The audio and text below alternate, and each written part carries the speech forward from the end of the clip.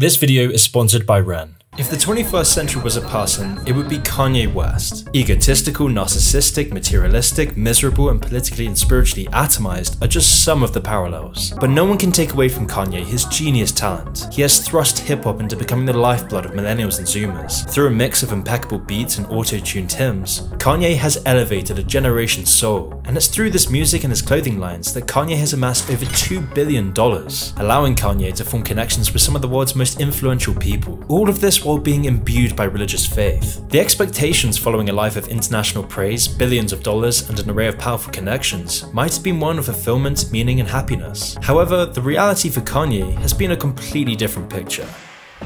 Kanye has been labelled mentally deranged, his family is broken in front of the world, he's lost access to his children, shunned by the legacy media, and humiliated by the Hollywood elite. On the surface, he has it all, but Kanye has very little left on the inside, and ironically, the very attributes that made him successful were instrumental in his downfall. But to understand how Kanye became such a tragic paradox of the society that made him, we need to look at the whole picture. From the start, Kanye wasn't destined to be a rapper. In fact, Kanye began his adult life as a painter studying at Chicago State University. However, However, he soon enough realised that his true passion was in music. He'd always dipped his toes into the musical world, but he didn't have anything to show for it. So at the age of 20, Kanye dropped out of college to fully devote himself to his dream, spending all day at his telemarketing job and working until 4am pursuing his dream of working in the rap world. And eventually all this hard work paid off, and within a year, Kanye had secured one of his first big contracts, selling a beat to Chicago rapper Gravity for $8,000. Soon enough, Kanye was making a name for himself as a producer, working with artists like Nas and Eminem, and then four years later in 2000,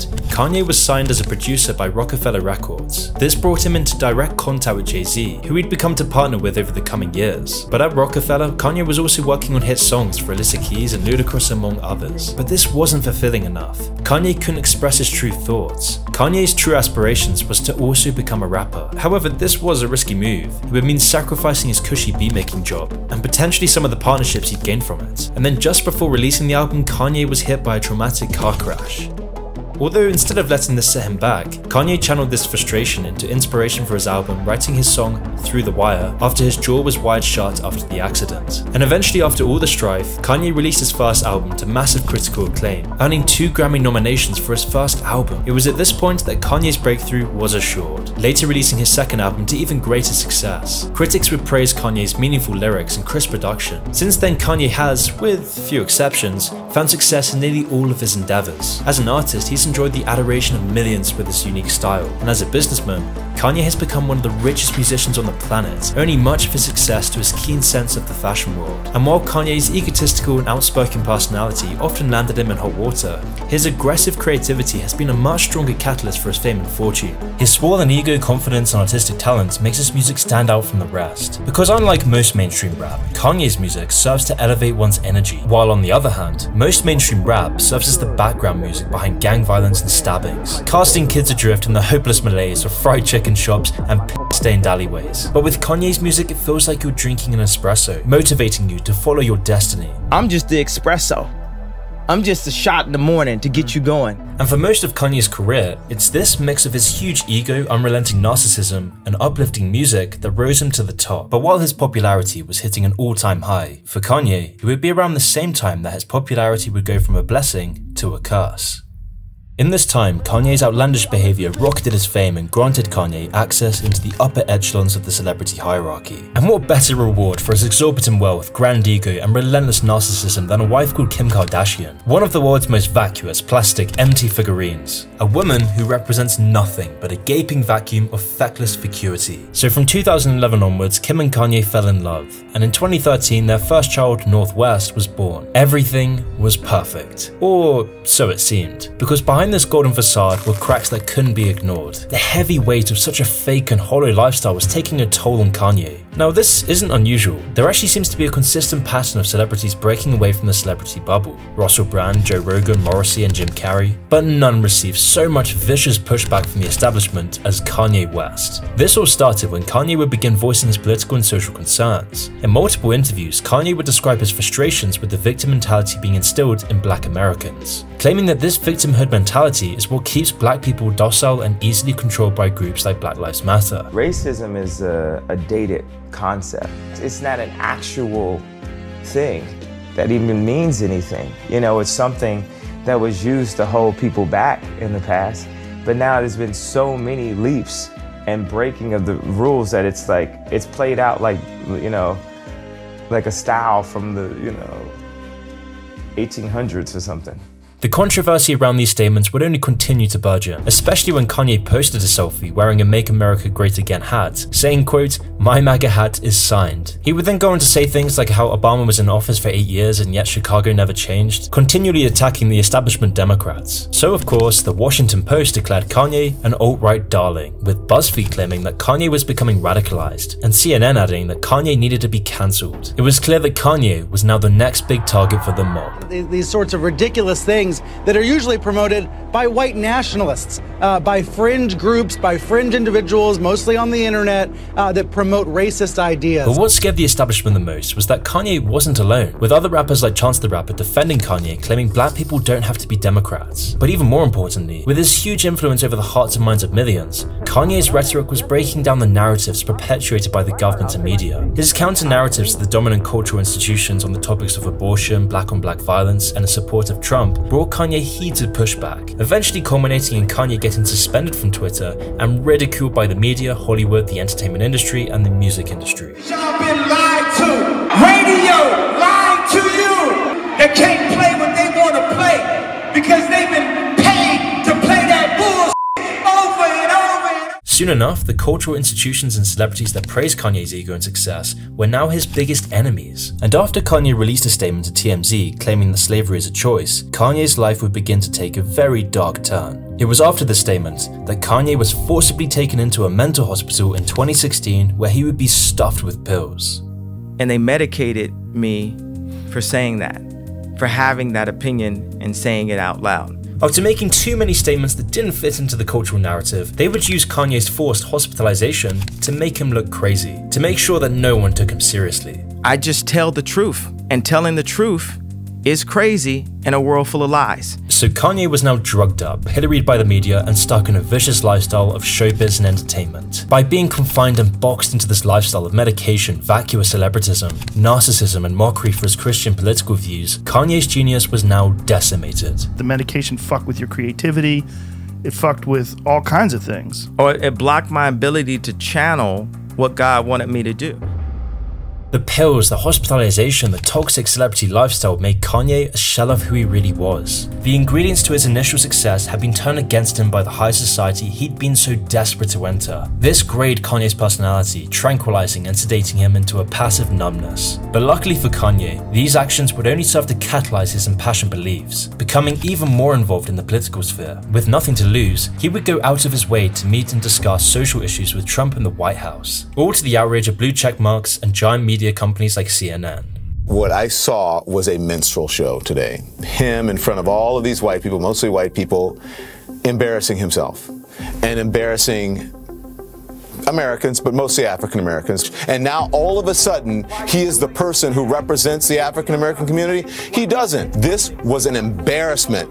Kanye's mother is rolling over in her grave. Kanye was now risking everything his family, his career, his connections, and influence. But still, he would put down all his chips for his most ambitious project yet becoming the President of the United States. Quote, We must now realize the promise of America by trusting God, unifying our vision, and building our future. I am running for President of the United United States, hashtag 2020 vision. Kanye would then later claim that his true calling in life was to be the leader of the free world. I, I believe that my calling is to be the leader of the free world. While public figures like Elon Musk rushed to his support, his presidential campaign was only seen as a meme at best and a delusional ego trip by most, with his presidential campaign being met with suspicion for just being a marketing ploy for his upcoming Donda album. And there was some credence to this. I mean, his whole campaign contained very little substance, with no organizing or concentrated promotion. In fact, Kanye's campaign even missed the filing deadline to appear on the ballot as an independent candidate in the last six states, with these political plans and presidential objectives being widely mocked for being an incoherent coherent, wishy-washy dream. I mean, you will be the commander in chief of the greatest army the world has ever known.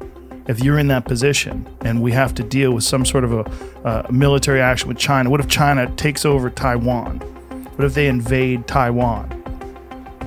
What if uh, something happens with Syria? What if something happens with Iran? What if something happens with Russia? And you have to make decisions about military action. Have you thought about this?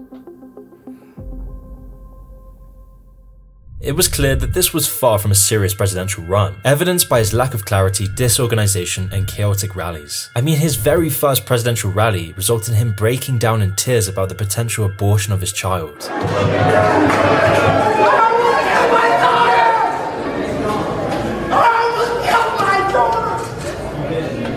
With all this disorganization, muddled political objectives, and chaotic presidential rallies, Kanye's chances of winning were slim to say the least. The only thing that could save his campaign was support from the socialites surrounding him. But most like Oprah and his wife would be quick to tell him to stop his political campaign. And those on the left, who initially supported Kanye's denouncement of George Bush in 2005, would now be using the same arguments against him. George Bush doesn't care about black people. Kanye's big gamble was now turning into a disaster. With his swollen ego being surrounded by yes men and hollow reality stars, Kanye seemed to genuinely believe he would impact politics. And while his views might seem universally popular, he had no alliance from the right or left. His connections to Trump and megachurch preachers like Joel Osteen alienated him from the left, and his racial politics and vocal support of men like Malcolm X alienated Kanye from the right, all of which resulting in an embarrassing 60,000 votes out of 160 million votes, or in other words 0.0375% of the vote most of which were entirely joke votes. This embarrassing outcome was one of the first major blows to Kanye's ego, but it would only get worse from there, because in the same time as Kanye's failing presidential campaign was his failing marriage. The first sign of this was during Kanye's unsuccessful presidential campaign, when Kanye would release personal information about Kim and their family. West then tweeted and deleted a series of statements about how Kim was trying to quote, lock him up and how she wants a divorce. And then by 2021, it was revealed that Kim had begun filing for divorce. And this wasn't just just any old divorce. This was a whole beast of its own, trapping Kanye into an isolating box that would drive anyone else insane. Now, as I already mentioned, Kanye had become increasingly more religious and political as he grew into fatherhood. And it was this breakaway from the hollow fake entertainment industry that inevitably caused a breakaway from his family, a family known to be one of the most plastic, vacuous families in the upper echelons of high society. But unfortunately for Kanye, it was only once he had his children did he realize how trapped he really was, resulting in Kanye often taking to social media to discuss how he feels like the Kardashians are actively trying to brainwash him with medication, conform him to turn down his black heritage for marketing purposes, with Kim's mum threatening to cut him out of the family entirely if he did not silence his often controversial views. So it should be no surprise that once the divorce was initiated, Kanye felt the full wrath of the media, his family, and the entertainment bubble against him. Kanye was now spiritually, politically, and socially atomized. He was now pilloried as a crazy radical right-wing stalker. Kanye has often said in recent interviews that this is an intentional smear campaign by the family, with him even naming Kim's publicist as leaking specific quotes to the press to fan the flames. Kanye would then see his wife go on SNL to laugh at the divorce and Kanye's behavior, finishing off the show by kissing Pete Davidson. And that is when Kanye's life would turn completely upside down. You see, Kanye had everything. He had all the fame and fortune he could have dreamed of. The only things he now didn't have was his wife and children. In the following months, Kanye would be barred from visiting his children's birthday parties, having to go through a screen of Kim's security before even saying hi to his children. And while Kanye was stopped from seeing his children by Kim's security, Pete Davidson would now be playing with his own kids. And then to make things worse, Kanye's child North would create a TikTok account and go live on the app to millions. Kanye immediately requested his children stay off social media, but this request was never taken seriously In fact, Kim actually made North a TikTok account and helped her post on it every day. In response, Kanye would come out with multiple angry social media posts claiming that quote, World, what do I do? I've asked her as a father a million times to keep North off social media. She agrees and then helps her do it? The media says I'm the bad guy, please help me. And then in response to this ongoing feud, Pete Davidson would text Kanye about being in bed with his wife and calling Kanye a little internet bitch boy. And ever since, Kanye has been on a downward spiral, propelled not only by his opinions, fame, family, and ego, but also by the establishment he was so desperate to enter. The media that catalyzed his fame now relishes his demise. Kanye's gotten his life to a position where he could succeed at anything. A billionaire, world famous rapper with an elite clothing line and an array of powerful connections. He'd achieved nearly everything he wanted, but it was through gaining these achievements he started to realize how toxic the celebrity lifestyle truly was. He understood how isolating the me first ethos of the elite is, and by understanding how poisonous the ideologies and belief systems propagated by the dominant culture were, Kanye was trapped into a corner. He could either sell his creativity and soul, bloating himself with pills and letting his children and mind rot under the light of a warped celebrity culture, or he could turn his back on the system that made him famous and successful. And by bravely choosing the latter, Kanye is now single, detached from his children, and shunned by those around him, currently residing in a mega mansion all to himself. In his own words, I lost my spouse. I'm the only billionaire sleeping on the couch. If any story could serve as a warning to the destructive cultural mindsets burped out by our postmodern society, it would be the story of Kanye West.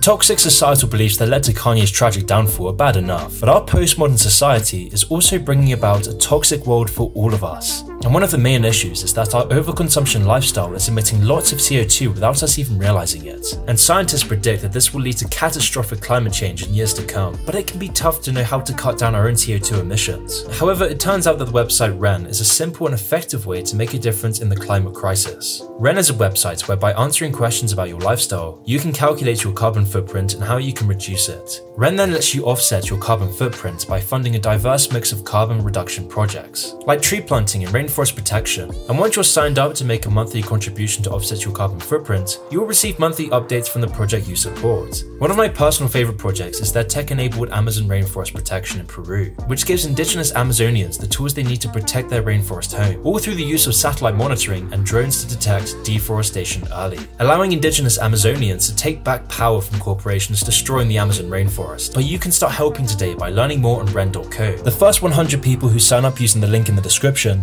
will have 10 extra trees planted in their name.